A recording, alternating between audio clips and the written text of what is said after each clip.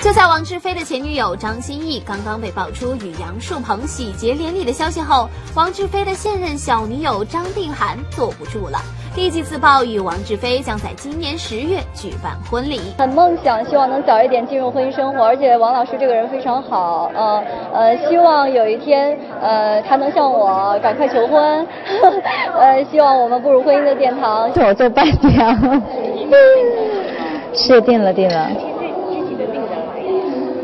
呃，十月份，嗯嗯，会在北京这边办，嗯，北京。张定涵热情的自曝婚礼细节，早早定下婚期与伴娘。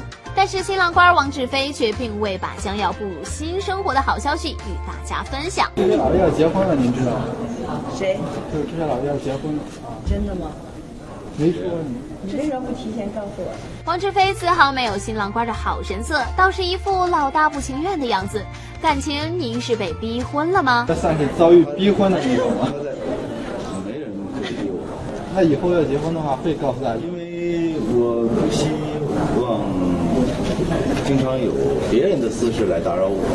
呃，同时我也我也不希望自己的私事去打扰。